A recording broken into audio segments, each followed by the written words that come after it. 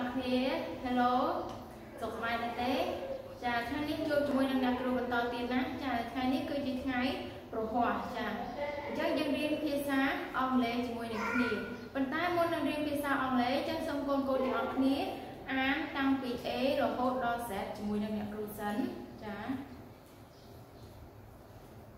អូខេទីនេះណាអានជាមួយអ្នកគ្រូទាំងអស់គ្នា A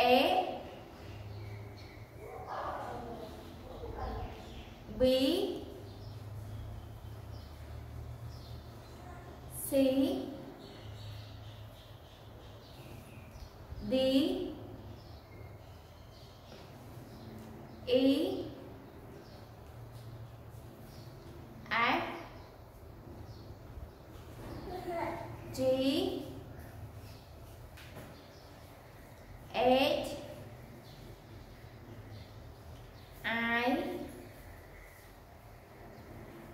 chế khế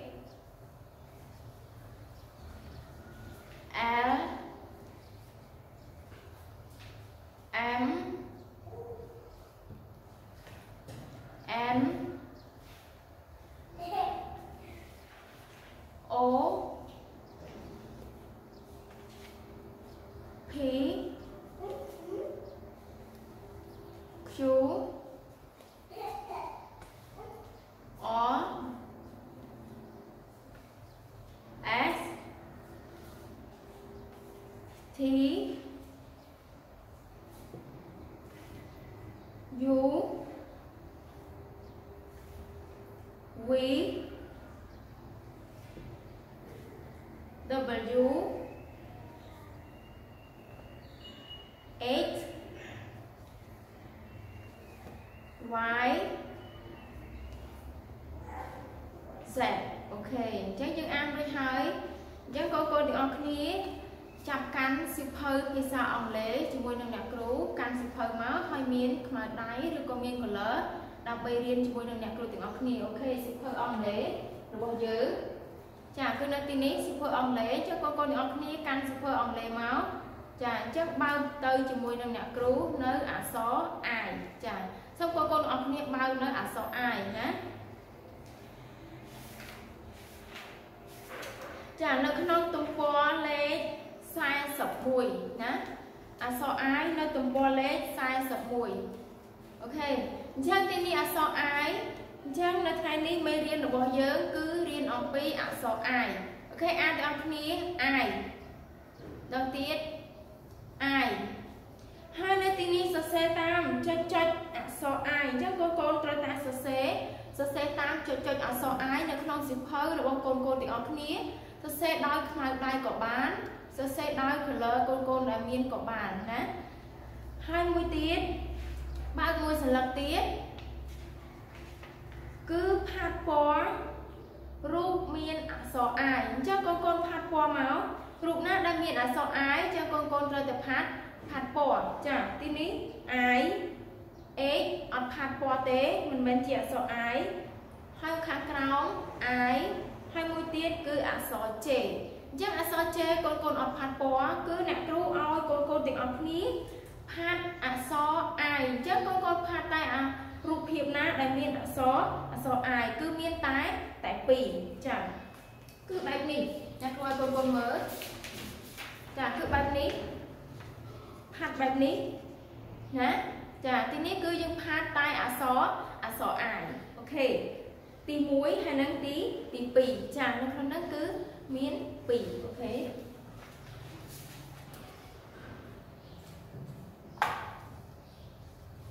ចាផាត់ពណ៌អក្សរអក្សរ I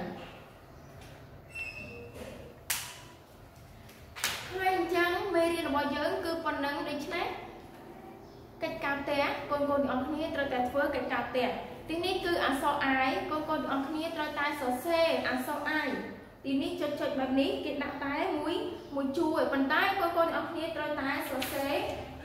អក្សរ I បែបបែបនេះញ៉ាំមកឲ្យឲ្យអ្នកគ្រូណាទីនេះចាគឺធ្វើបែបនេះចាអក្សរ I ណាគឺសរសេរសរសេរអក្សរ I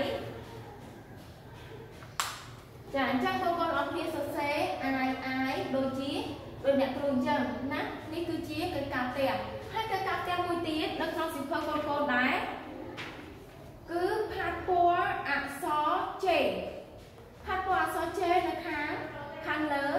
ហើយនឹងសរសេរតាមចុចចុចអក្សរ J នៅខាងខាងក្រោមអូខេអញ្ចឹងទីនេះបែបនេះអ្នកគ្រូក៏មានគម្រោងឲ្យកូនកូនទាំងអស់គ្នាមើលដែរ